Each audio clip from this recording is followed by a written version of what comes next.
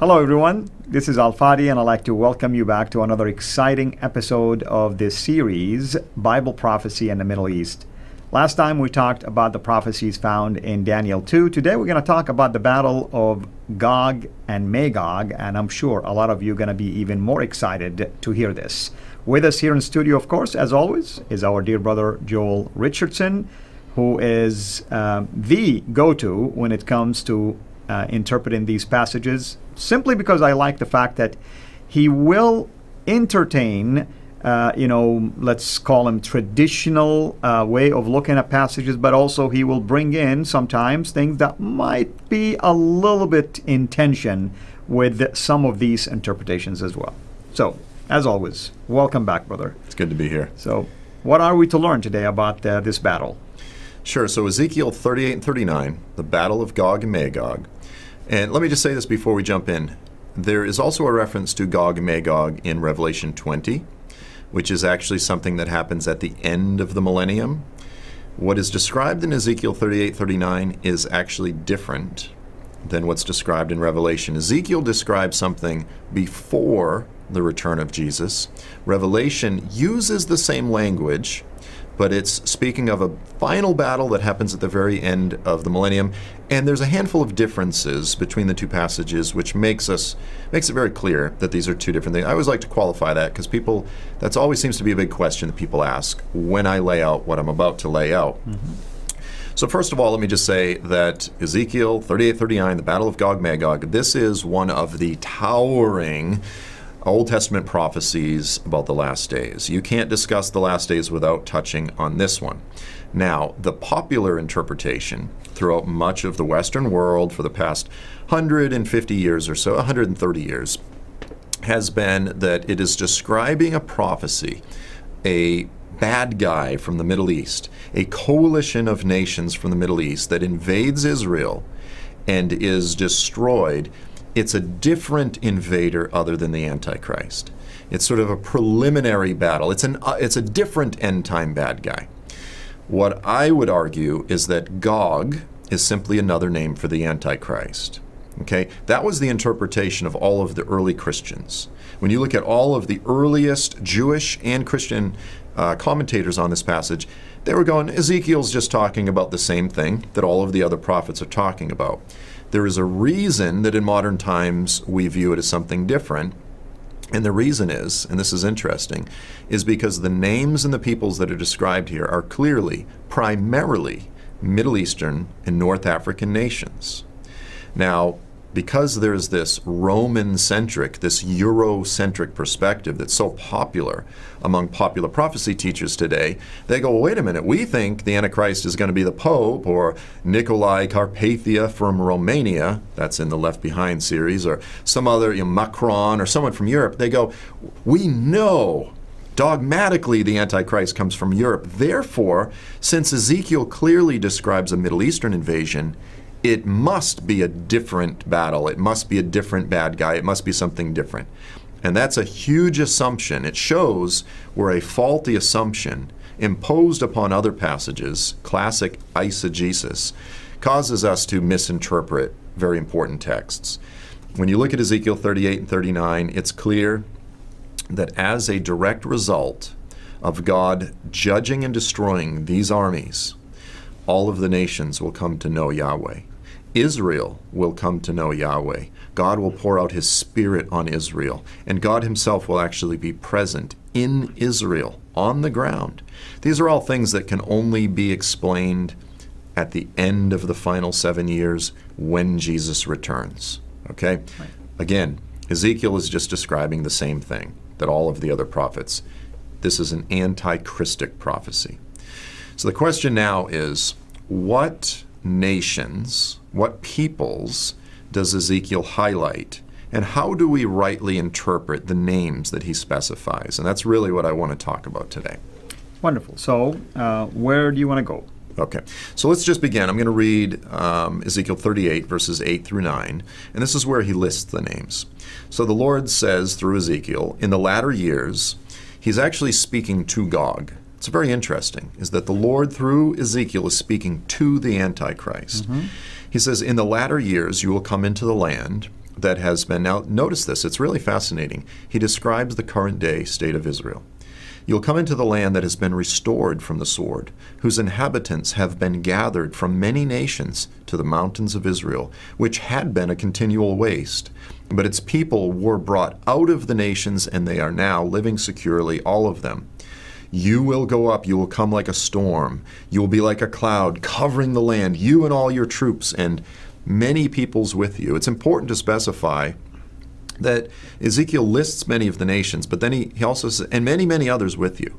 So what he's about to list is not comprehensive, mm-hmm. but he does list some of the key. So who are these? Okay, yeah. so we've got Magog. Mm-hmm. And Magog, it says Gog is from Magog, and he is the chief prince of Meshech and Tubal um, he will have Persia, Cush, Put, Gomer, and Togarmah. Now, these are all names that, other than Persia, most of us have no idea. These come from the Table of Nations in Genesis 10. Mm-hmm. Okay, they're very ancient biblical names. But we have to focus on how did Ezekiel understand these nations? Exactly. Yeah. And so here's here's the important point because again, in popular prophecy books, almost everyone will say, again, these American prophecy teachers will say this is a Russian led Middle Eastern North African coalition of nations, but it's led by Russia. They always put the emphasis as the leader is from Russia. And they get to this conclusion, this is interesting, by they, they take an approach to interpreting these names through what I call, for lack of a better term, the historical wild goose chase method. So they'll say, for example, Magog. They'll say, what does Magog mean? How do we interpret? How do we understand what Magog means? Well, they'll say, well, notice that in the first century, 500 years after Ezekiel, they'll say Josephus says that Magog became the Scythians, which he does. And they'll say the Scythians, they migrated out of Asia Minor, out of Turkey. They came into Bulgaria, Romania, Moldova, Ukraine. They came around the Black Sea and they eventually spread out up into Russia. They intermixed you know so you're tracing the the bloodline the intermarriages the migration patterns of these peoples. You go through all the history books you try to figure it out. Who did magog become? And they say they eventually became the russians. So when they say magog they go that means russia. Mm-hmm. that's the historical wild goose chase method. I would argue that a much more responsible method is the historical grammatical method which is simply to say this. How did ezekiel understand these names where did they live in his day? How did Ezekiel's immediate audience understand these names? And that's important, by the way, because, I mean, as a prophet, he probably didn't even know when the fulfillment of this might take place. Exactly. You know, oftentimes prophets will just look at the top of the mountain. They do not know what happens in between, in sure. the valleys. And, and in his mind, he could have been expecting it to happen immediately. Sure, right? sure. So it doesn't make sense for him to talk about things. I mean, the Lord speaking through him doesn't make sense for the people to hear names and they feel like, oh, it's not in my day. I mean, I don't even know who these people are. You know, sometimes right. God wants you to get excited about what you're hearing. Yeah, and so, you know, I, another way to say this is he uses the geographic correlation method. Mm-hmm. So in his day, Magog was Turkey. Quite simply, in his day, Magog was Turkey. So he used the name for the region of Turkey in his day. And all we have to do is know where were these peoples in Ezekiel's day? How did Ezekiel understand these names? And where, what regions was he pointing to? And so here's what's interesting is I've done very careful analysis of different prophecy books. And what a lot of guys do is it's almost like a card trick. It's almost like a magic trick. It's almost like sleight of hand because in order to create the maps that they want to, they switch methods from name to name. Mm-hmm. So with Magog, they want to prove it's Russia. They'll use the wild goose chase historical migration method. But with some of the other names, they'll use the grammatical historical. They'll use the geographic correlation method. Well, first of all, you have to be clear in terms of which method you're using, and you have to be consistent with all the names. Right. So if you want to say, well, Magog means Russia, you have to also use that same method, let's just say with Gomer. The, Gom- the Gomerites became the Gemari, which became the Cimmerians, which became the Celts. Mm-hmm. Okay, so you'll see all these books, the coming Russian invasion of Israel. You'll never see a book that's the coming Irish invasion of Israel, right? Mm-hmm. But if they're to be consistent, you would have to do that. Um, but you don't see that because that's not politically popular in the United States. So this is where, unfortunately, political bias has influenced wrongly the interpretation of biblical prophecy. So uh, what I've done here just to help viewers understand is I've thrown up a few maps. These are maps of popular prophecy teachers.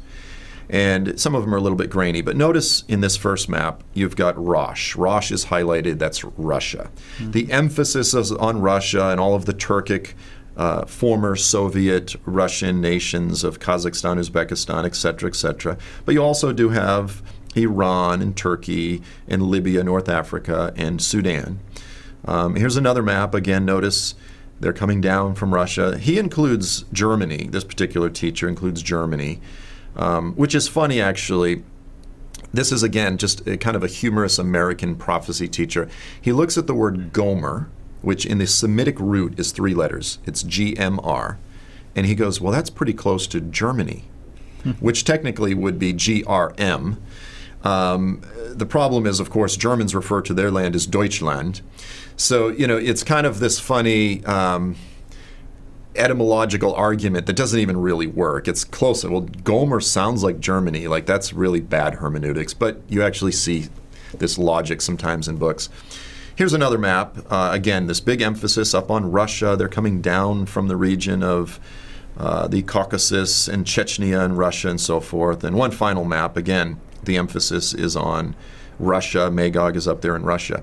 Now, notice how they're all a little bit different. If you really compare the maps, they're slightly different, mm-hmm. but there's always a big emphasis on Russia. Right. Now, what I've done is contrasted a series of simple Bible atlases. Now, Bible atlases are put together by various evangelical scholars, usually a team of interdisciplinary, you know, academics. They don't have any prophetic bone to pick. They're not trying to prove some prophecy. Here's the New Moody Atlas of the Bible.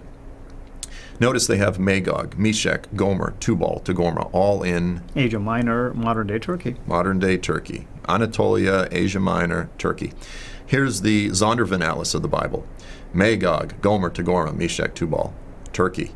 The Holman Bible Atlas, same thing all in Turkey. And notice how they're all, again, slightly different in terms of if it's East or West Asia Minor. There's some variance, but for the most part, they're very clear that in Ezekiel's day, these names mm-hmm. referred to, here's the IVP Atlas of Bible History, they're referring to Asia Minor. And these are very reputable academic, uh, basically, entities. Yeah. And notice the dramatic difference between the simple, again, evangelical Bible atlases and the popular prophecy books. Mm-hmm. I would argue that the atlases have it correct. So what I've done here is I've made a map to understand what is Ezekiel talking about? Where does the Antichrist come from? And essentially, understanding the Israel centricity of the story, I just put a compass on the map. Essentially, Ezekiel is highlighting the leader of this coalition from the north, a significant emphasis on the region of Turkey, with Persia to the east, with Sudan to the south, with Libya to the west, and as we already said, many nations, many other nations will be included. Um, but this is just sort of, he's framing out this coming gathering of the surrounding nations against Israel. And once again, even as we saw with Daniel 2, um, the emphasis is on Turkey. And, that's important. And again, it's not an indictment of all Turks by any means, it's not an indictment of all Turkey. But the prophets say that it's from this region. It's from this region that this last days dictator would emerge, and he would exert his control over the region and lead an invasion against God's people, against Israel. And so it's amazing to see the degree to which this is beginning to come into focus in our day. So, to wrap up this uh, episode, what do you, do you expect our viewers to come out of this the way we laid it out for them? Well, for all intents and purposes, the, the world events, ground reality, is presently confirming what Ezekiel said 2,500 years ago. You know, what these ancient biblical prophets declared is coming into focus in our day. Now, we don't know the exact timing, we don't know how long it takes. We're watching things like the Turkish um, they're zeroing in on the year 2023, which is the 100 year anniversary mm-hmm. of the abolishment of the Ottoman Empire, the abolishment of the Ottoman Caliphate, the Caliph, and this type of thing. And and uh, the AKP party, Erdogan, President Erdogan, is using rhetoric of essentially reestablishing the Ottoman Empire and all of this kind of stuff. And I've been saying this for well over a decade. You know, the liberal secular media was making fun of me. Oh, he's an alarmist, he's crazy. But we're seeing now this is well acknowledged, it's established. This NATO uh, nation is becoming the new Iran. And so, as I said, it's confirming biblical prophecy. And the scriptures say, when we see these things, lift up your head because your redemption is drawing close. Amen. Amen. Thank you so much, brother. Uh, and uh, before we wrap it up, uh, what should we expect next? So, in the next uh, episode, we're going to jump into Daniel chapter 11 and this prophecy concerning the kings of the north and the south. And we'll see how, once again, whether it's Daniel 11, whether it's Daniel 2, whether it's Ezekiel, they all are essentially telling the same story from different angles, emphasizing different facets, but they're reiterating the same story over and over and over again. Amen. Exciting. Thank you so much. And hopefully, everyone is enjoying this. Until we meet again next time, have a blessed day. Thank you so much for taking the time to watch this video. We can't make these quality videos without the help of partners like you. So please consider becoming a Patreon supporter today at patreon.com forward slash CIRA International. I want to make sure you always get notified when we release a new video, so please click the bell to be notified and of course, make sure to subscribe to this channel. If this video was helpful to you, please click the thumbs up. Thank you.